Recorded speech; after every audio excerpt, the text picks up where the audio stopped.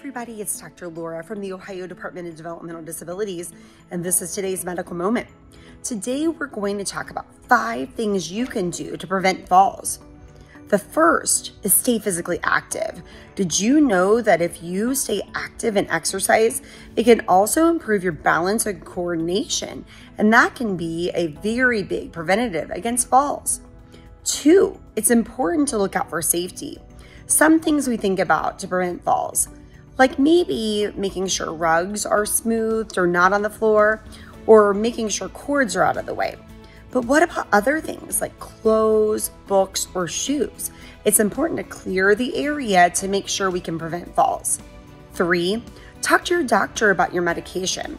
Some medications can actually be a fall risk. Some meds can make you sleepy or dizzy, and that might make you at an increased risk for falls. It's important to talk to your doctor about your medicines and also about the interactions between other medications, which we call polypharmacy. So, next time you're at your doctor's office, make sure to ask them about that. Four, it's really important we think about a few other things.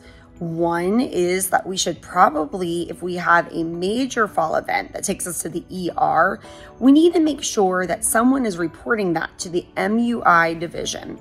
We want to make sure to stay safe and also make sure that we can help you in case falls are a particular thing that you're at risk for. And five, we want to make sure that your vision is doing okay. If you have never, or it's been a long time that you haven't had your vision checked, it's important to get that checked. Some things as simple as a change in prescription can help you to prevent falls.